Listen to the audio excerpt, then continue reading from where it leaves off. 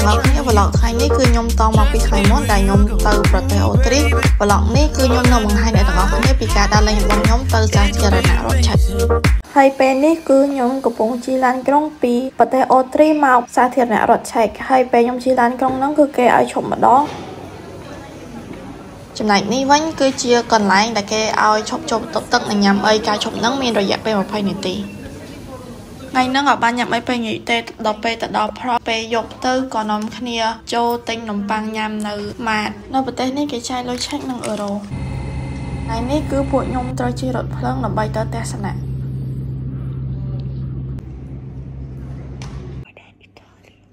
True.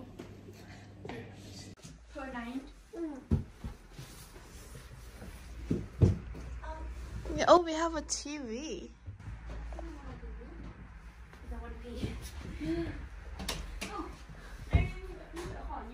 Cheers. Cold bread. អ្នកទាំងអស់គ្នានំប៉័ងហ្នឹងគឺខ្ញុំញ៉ាំចង់ត្រជាក់ពេលខ្ញុំទៅដល់ប្រុកហ្នឹងមានមនុស្សនៅពេលយប់ច្រើនជាងការខ្ញុំនៅទីក្រុងវីយ៉ែនដូច្នេះហើយខ្ញុំជាមួយមិត្តភ័ក្តិខ្ញុំក៏នាំគ្នាចេញទៅដើរលេងមើលទេសភាពក្នុងក្រុងបន្តិចហើយនិងខ្ញុំទៅរកទិញកៅមកបិទវ៉ាលីផងព្រោះអីវ៉ាលីខ្ញុំបាក់កង់អ្នកទាំងអស់គ្នា ចង់ឲ្យថាកង់ហ្នឹងបាក់តាំងពីការនៅអូទ្រីតែប៉ុន្តែការហ្នឹងថ្ងៃសៅរ៍ទៅរស់ទៅគេបិទតូបអស់លីងទៅរកទិញកៅអត់បានពួកខ្ញុំចាប់ផ្ដើមថ្ងៃថ្មីរបស់ខ្ញុំដោយការញ៉ាំអាហារពេលព្រឹក free នៅផ្ទះសំណាក់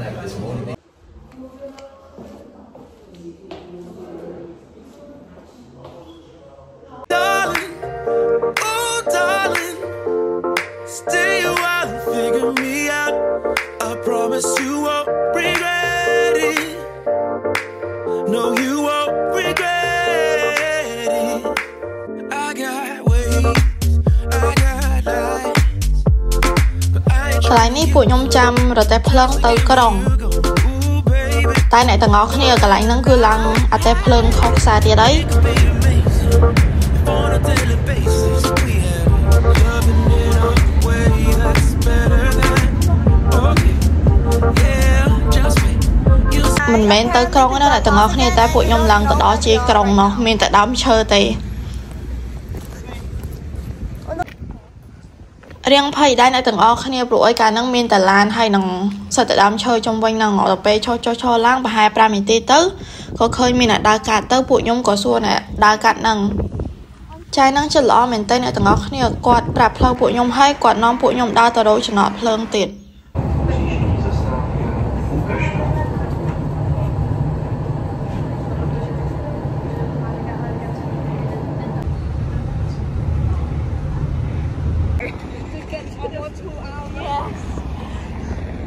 អ្នកទាំងអស់គ្នាគ្រាន់តែវិញផ្លូវចុះឡើងចុះឡើងហ្នឹងព្រឹកហ្នឹងខាតពេលអស់រយៈពេល2ម៉ោង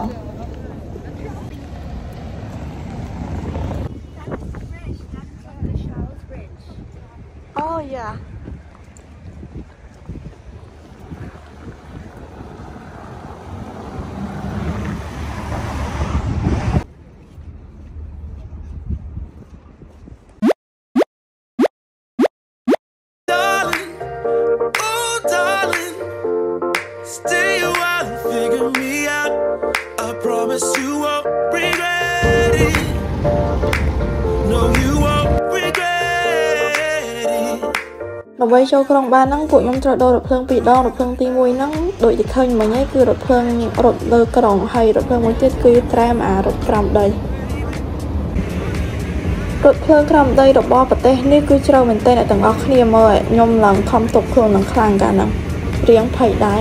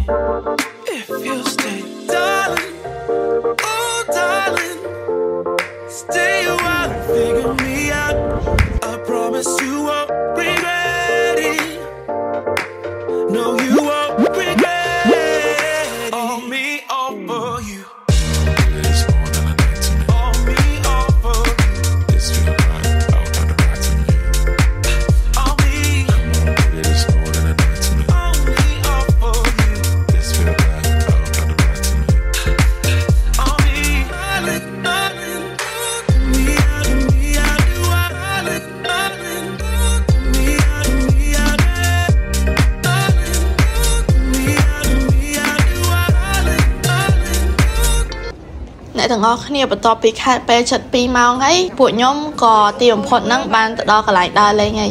កន្លែងដើរលេងទី1របស់ខ្ញុំហ្នឹងគឺ Old Town Square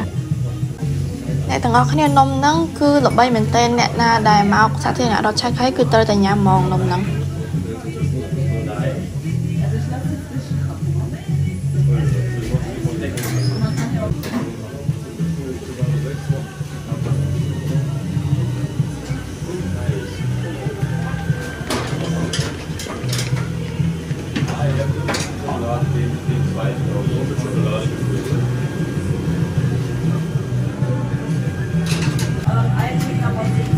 អ្នកទាំងអស់គ្នា sorry មែនទែនព្រោះរបៀបខ្ញុំញ៉ាំអាក្រក់មើលតែខ្ញុំ try to eat it ដែរតែអា sticker edit ហ្នឹងវារត់រហូតចឹងទៅក៏ដាក់ចឹងទៅ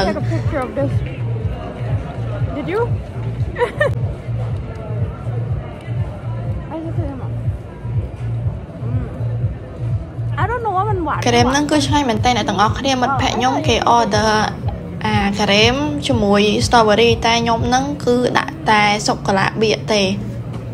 នៅខាងក្រៅនំហ្នឹងគេដាក់ស្ករសហើយនេះគឺជាឈ្មោះរបស់នំហ្នឹង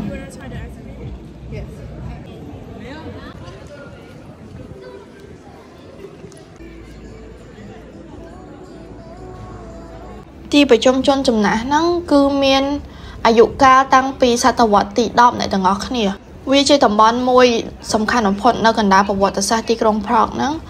ហើយវាជាកន្លែងដែលមនុស្សជួញដូរទំនិញគ្រប់ពីទិសទីនៅអឺរ៉ុបកាលពីសម័យមុនអ្នកទាំងអស់គ្នាដើម្បីផ្គត់ផ្គង់ពួកឈ្មួញទាំងអស់ហ្នឹងគេនាំគ្នាសាងសង់មន្ទីរពេទ្យព្រះវិហារផ្ទះសំណាក់និងក្រៅគោអីនៅជុំវិញហ្នឹងអ្នកទាំងអស់គ្នាហើយបន្តមកទៀតក៏គេរៀបចំជាផ្សារនៅទីហ្នឹងដែលលក់ដូរទំនិញគ្រប់ប្រភេទ Yeah, already.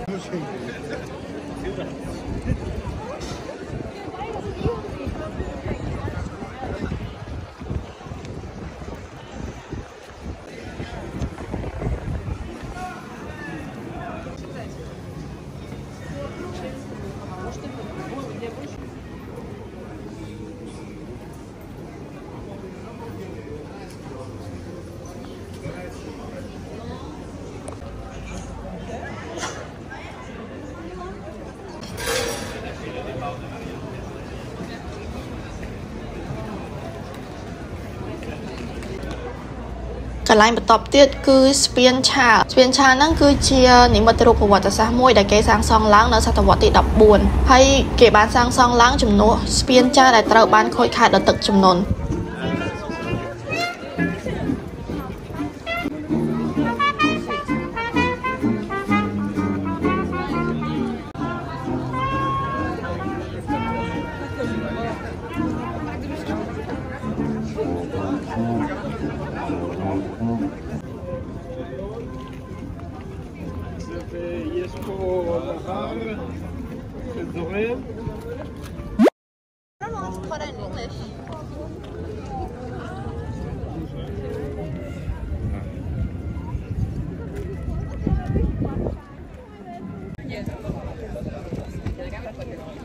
انا امشي ها جاي لا لا خليك واقف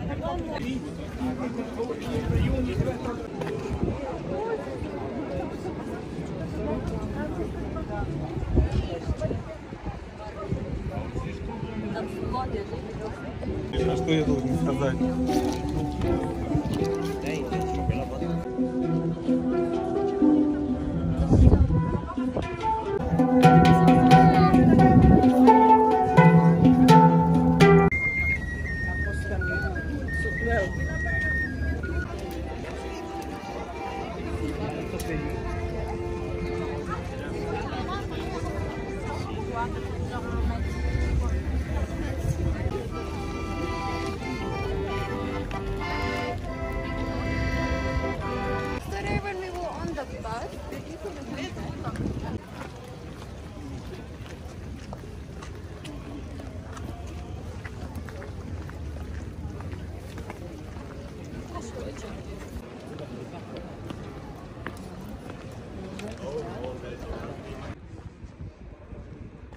I saw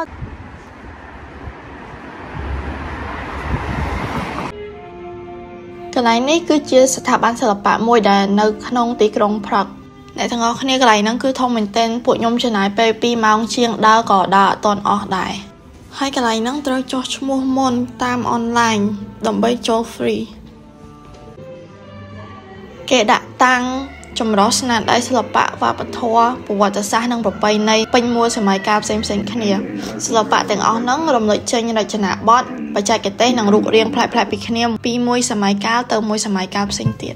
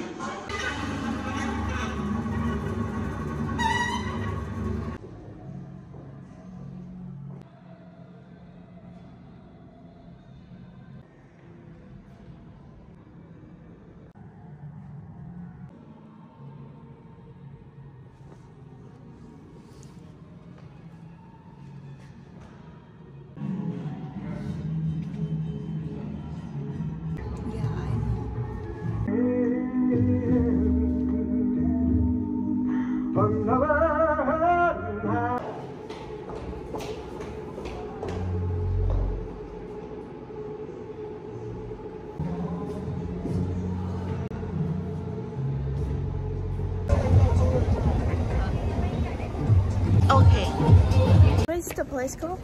Park Castle. Okay, we're walking up the stair to Prague Castle. What else to say? I can hear your breath. ការធ្វើដំណើររៀងពិបាកបន្តិចដោយសារថ្ងៃក្តៅហើយត្រូវការឡើងចដើច្រើន Prague Castle ហ្នឹងគឺមានប្រវត្តិយូរហើយអ្នកទាំងអស់គ្នាតាំងពីសតវត្សទី9ម្លេះ ដើមឡើយហ្នឹងវាគ្រាន់តែជាបន្ទាយតូចមួយទេប៉ុន្តែ វាបានបរិឡើងទៅតាមពេលវេលារហូតដល់ក្លាយជាប្រាសាទធំហើយអឺប្រាសាទហ្នឹងដែរក៏ជាលំនៅរបស់ស្ដេចនិងមហាក្សត្រយ៉ានីហើយនិងអ្នកគ្រប់គ្រងរបស់សាធារណរដ្ឋឆែកជាច្រើន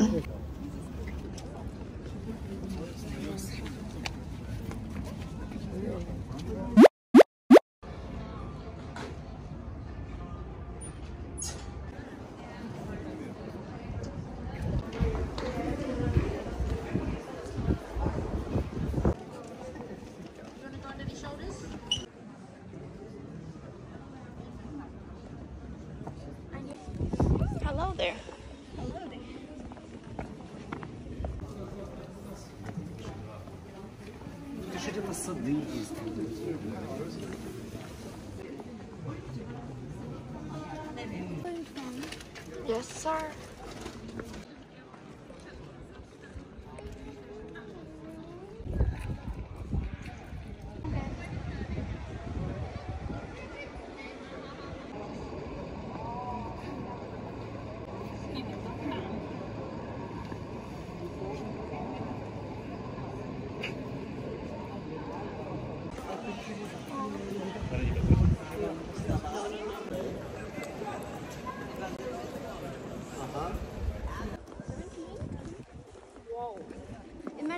Back and it's like 40. Yeah. We're gonna die.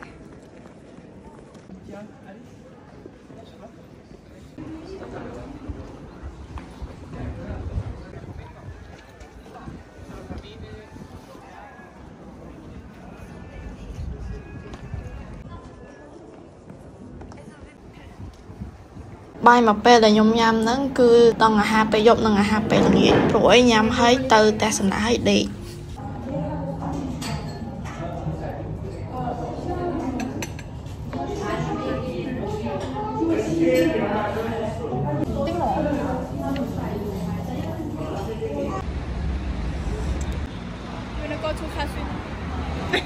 ទ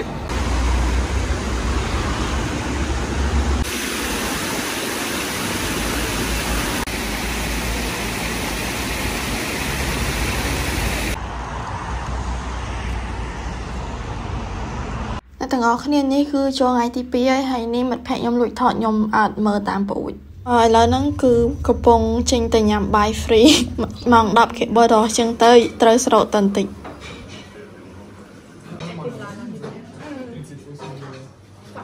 Yeah, I want to.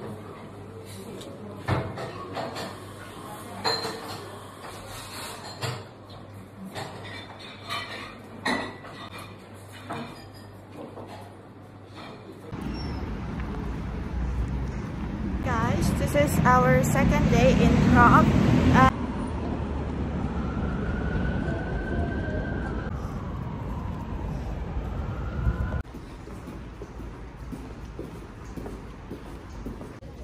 ពួកខ្ញុំចាប់ផ្ដើមដោយការដើរទៅស្ថានីយ៍អតេភ្លើងដើម្បីជិះអតេភ្លើងទៅរកសារមន្ទីរហើយសារមន្ទីរហ្នឹងគឺពួកខ្ញុំរំភើបមែនទែនដែលបានទៅដោយសារ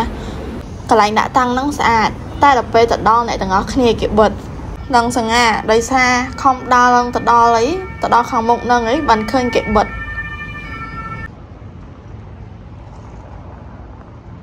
តមកទៅពួកខ្ញុំក៏ចេញដំណើរទៅផ្លូវតូចបំផុតក្នុងពិភពលោក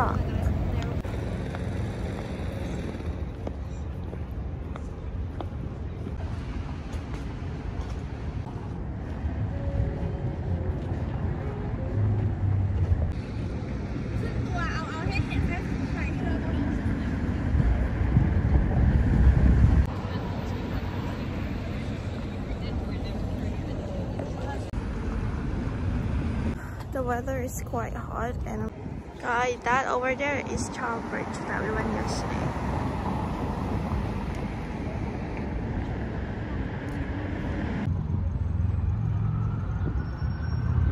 ទាំងអស់គ្នាដើរលេងមួយថ្ងៃជាប់គ្នាហ្នឹងគឺហត់មែនទែនព្រោះឲ្យដើររហូតមួយថ្ងៃសិត15គីឡូ Let's go.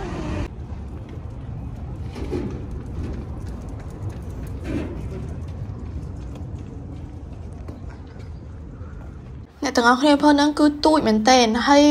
គេមានសញ្ញាដើរអីត្រឹមត្រូវរបស់គេឃើញទូចចឹងមែន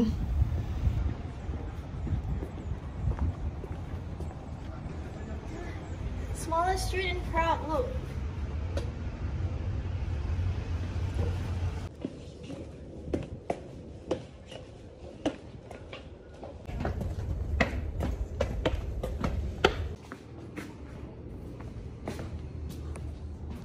So where do we go next? ။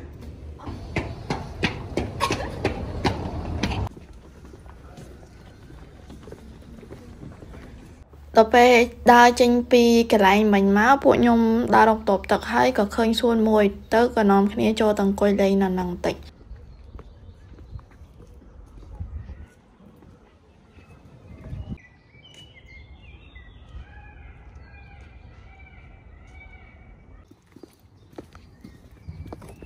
មិត្តភក្តិខ្ញុំនាំគ្នាទៅតបទឹកហើយខ្ញុំក៏មកអង្គុយម្នាក់ឯង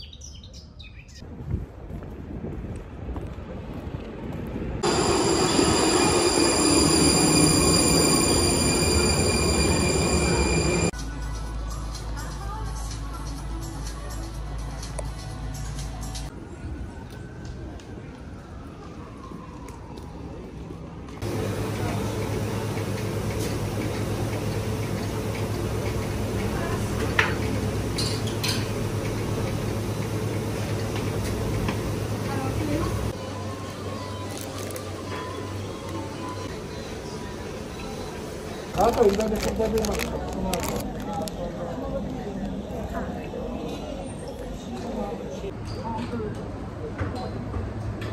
guys, we're here um, at the ice cream shop. Haven't gone anywhere yet.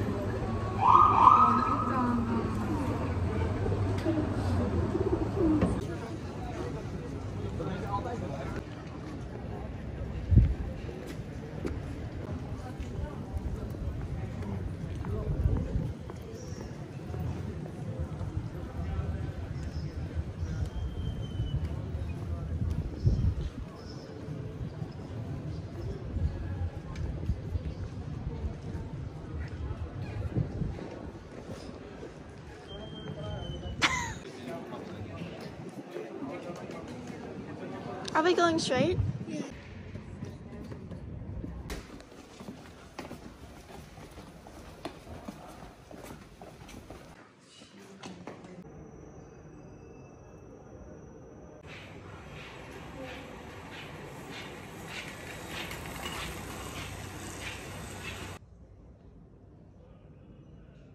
អ្នកទាំងអស់គ្នាកន្លែងបន្ទាប់ហ្នឹងគឺសារមន្ទីរទារុណកម្មខ្ញុំអត់ចង់ចូលទេតែមិត្តភ័ក្ដិខ្ញុំអស់ខ្ញុំចូល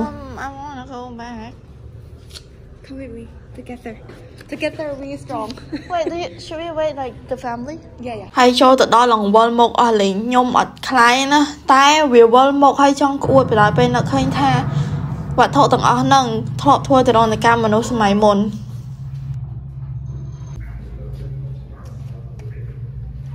ខ្ញុំមិនដឹងថានិយាយពីអញ្ចឹងអញ្ចឹងគេ report ឬក៏អត់ទេណាតែនេះគឺរបៀបដែលមនុស្សគេ គេចងមនុស្សនឹងទៅសនឹងឈើមួយបន្តមកទៀតគេអុជភ្លើងខាងក្រោម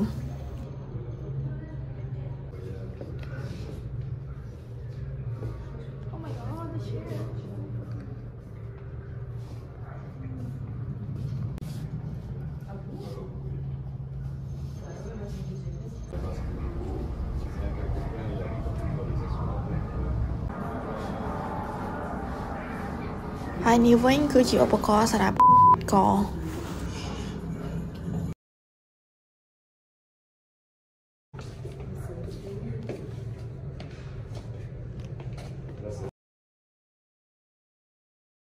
ដាវនេះហើយនឹងបថៅអីហ្នឹងគឺធំមែនទែនប្រហែលត្រឹមកខ្ញុំហើយខ្ញុំ1ម៉ែត្រ62អ្នកទាំងអស់គ្នា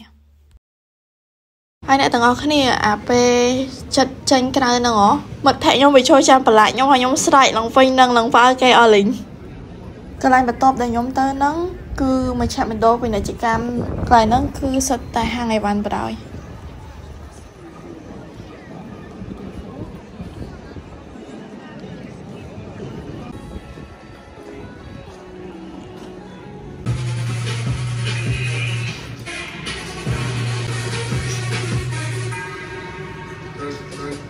កន្លែងនេះមិត្តភក្តិខ្ញុំឈប់ញ៉ាំអីតែខ្ញុំមិនញ៉ាំទេព្រោះអីចង់ក្អួតចេញពីសារមន្ទីរហ្នឹងមក កាលហ្នឹងពួកខ្ញុំនាំគ្នាដើរទៅទស្សនៈវិញហើយកាលហ្នឹងកក់ឡានក្រុងម៉ោង5ហើយទៅម៉ោង2អ្នកទាំងអស់គ្នានាំគ្នាទៅអង្គុយចាំនៅទស្សនៈនឹង3ម៉ោងដោយសារអស់កម្លាំងទៅនាំគ្នាអង្គុយយកកម្លាំង um because and recharge the energy and I'm so excited to go to Germany and see what it's store for us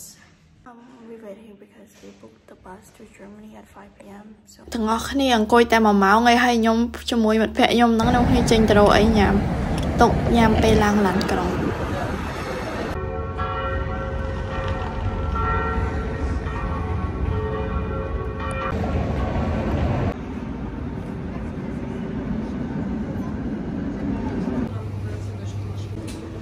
គ្រប់លុយហ្មង គ្រប់លុយហ្មងលុយសល់11ឆែកខាងនេះអស់10កន្លះ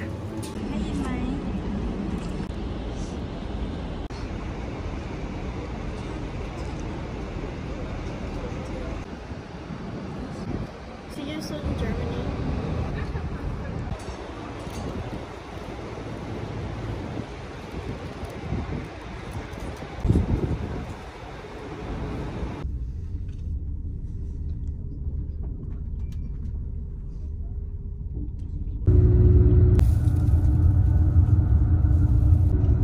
។ ទេសភាពស្រុកស្រែគេគឺស្អាតមែនទែនអ្នកទាំងអស់គ្នាហើយរឿងនេះខ្ញុំអត់ដេកទេខ្ញុំចាំមើលព្រះអាទិត្យលិច